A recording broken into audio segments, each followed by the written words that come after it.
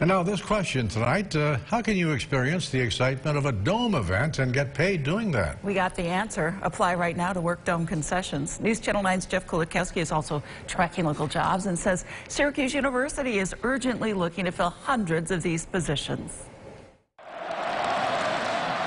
Just as much a part of going to the Dome as cheering on the orange from the stands is going up to the concession stands for nachos, dog, and a drink.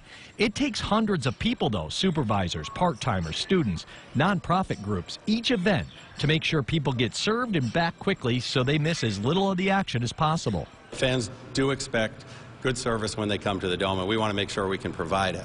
Um, right now, with, with, us being a little short-staffed, there have been times that our lines were a little longer than they needed to be or should have been, and we're trying to do everything we can to shorten those lines to improve the fan experience. Tewksbury says the reason they're having such a difficult time hiring people for these jobs is that unemployment is so low in our community that pretty much everyone who wants to work can work.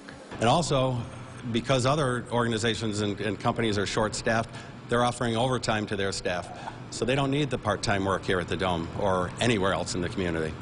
Supervisors may work an eight-hour shift for football, regular part-timers four to six hours. Shifts for hoops may be a little shorter. All-day events like field band competition would obviously be longer.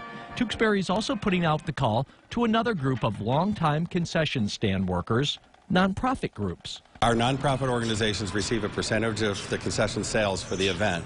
Um, so for a small event, we'll make sure that we guarantee at least $500 for the group. And for Clemson, we had groups that earned as much as $3,500.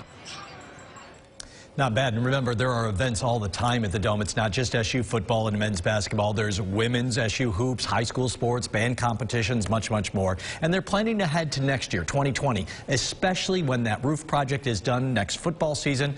Make sure they are all staffed up, Christy. Jeff, thank you. And